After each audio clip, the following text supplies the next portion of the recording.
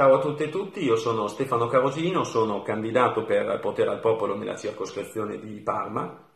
e oggi per la rubrica Chiedilo ai candidati risponderò a una domanda che ci è stata posta durante questa campagna elettorale, e cioè come mai abbiamo scelto di candidarci da soli e non di sostenere la candidatura di Stefano Bonazzini del Partito Democratico.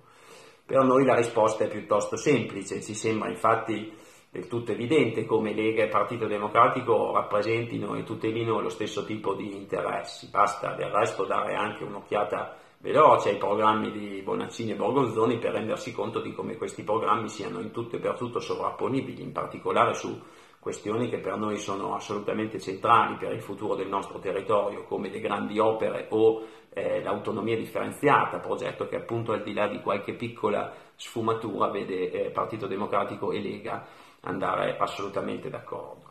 In secondo luogo le nostre liste si compongono di eh, studenti, di lavoratori precari, di disoccupati, di pensionati che non arrivano alla fine del mese, che non potrebbero certo condividere candidature con eh, i personaggi che troviamo nelle liste a sostegno di Bonaccini, imprenditori senza scrupoli che si sono arricchiti inquinando i territori o che ritengono del tutto normale licenziare centinaia di persone con un sms. E in terzo luogo non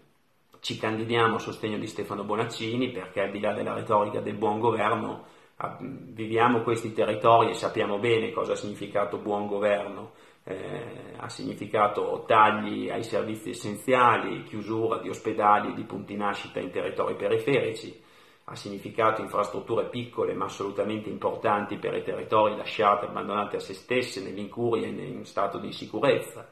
ha significato eh, un trasporto ferroviario locale in costante peggioramento in questi anni e ha significato eh, una situazione dell'inquinamento atmosferico in grave peggioramento costante contro la quale il Partito Democratico non ha saputo mettere in campo alcuna misura efficace, ma non solo. Si continuano a finanziare progetti di nuove autostrade che non faranno che aggravare una situazione che è già critica. Eh, secondo noi buon governo significa l'esatto opposto di tutto questo, significa lavorare per tutelare il lavoro e i lavoratori, garantendo un salario minimo degno,